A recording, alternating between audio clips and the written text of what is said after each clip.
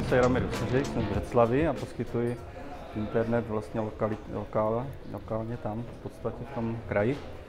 A vlastně jsme v poslední době řešili už docela problémy s zarušením.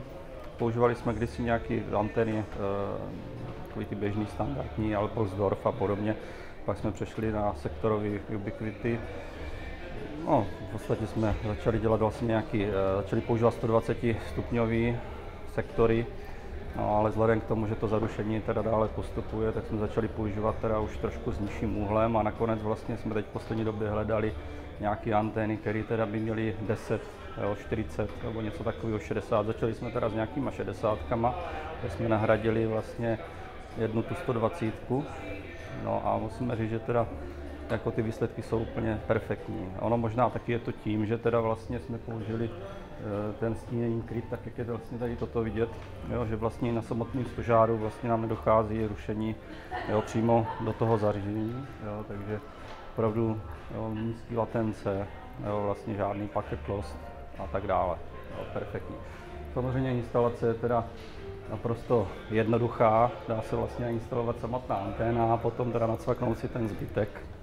Jo, myslím si, že v poslední době jsme nic lepšího neměli, jo, než tady tohle. Teda. I z hlediska montáže, ale z hlediska i toho, jak to funguje, vlastně jo, v podstatě to používáme na vzdálenost až dvou kilometrů ve, ve městě.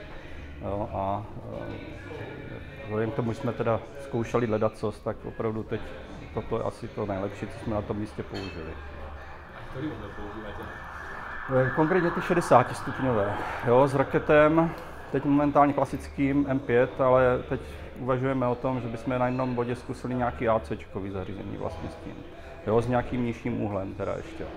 Jo, že jsme zkusili, právě jsme na jednom bodě máme tady tuhletu antenu, možná bychom ji právě nahradili i ještě vlastně s nějakým, nějakou antenou vlastně touhletou, ještě s užším úhlem, jo, vyzařování. Jo.